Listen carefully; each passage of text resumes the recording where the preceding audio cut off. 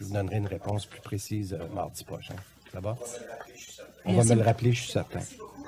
Merci beaucoup. On va devoir prendre un, un court temps d'arrêt, donc je demanderai juste aux intervenants de quitter la salle deux, deux secondes.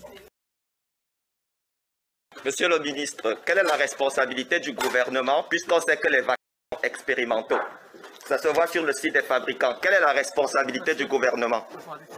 On m'empêche de poser la question. La, la réalité, c'est que les vaccins expérimentaux et le gouvernement a aussi une responsabilité.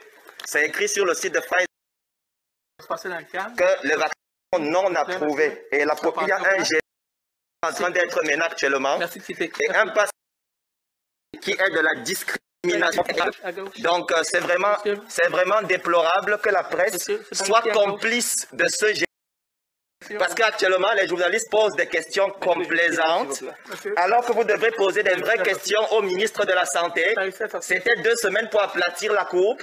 C'était que le masque n'est pas important. Après, il est devenu obligatoire. C'était qu'il n'y aura pas de couvre-feu. Ensuite, on a mis le couvre-feu. Le gouvernement, c'était un défi 28 jours, qui a déjà des centaines de jours. Et on continue comme ça à l'infini. Et on va enfants qui n'en présentent aucun risque. Il est temps qu'il y ait un débat au Québec. Il est temps que la vérité soit dite. Parce qu'aujourd'hui, c'est la mort de la démocratie. Imposer un passeport. Et la presse ne devait pas être de collaborer à ça. C'est déplorable.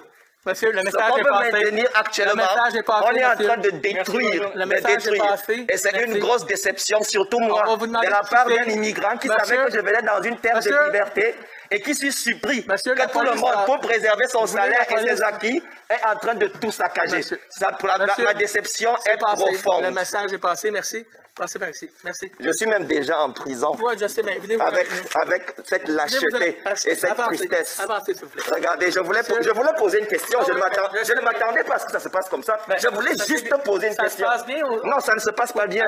C'était juste une question Avancez, que je voulais poser. Monsieur, Et voilà comment ça finit. Merci beaucoup. Avancez. Profonde déception. Merci beaucoup. Profondément déçu. Profondément déçu. C'est déplorable. Depuis le début, on ne fait que nous mentir. On va force les enfants. Quelle déception. Bonjour. Je vais très bien, vous. On va discuter ensemble à l'extérieur. D'accord. C'est bon. Je voulais juste te poser une question, c'est tout. Rien d'autre. Je voulais juste te poser une question. C'est tout. Si j'avais posé une question, c'était tout. Mon objectif, c'est la vérité. Je, voulais juste te poser une question.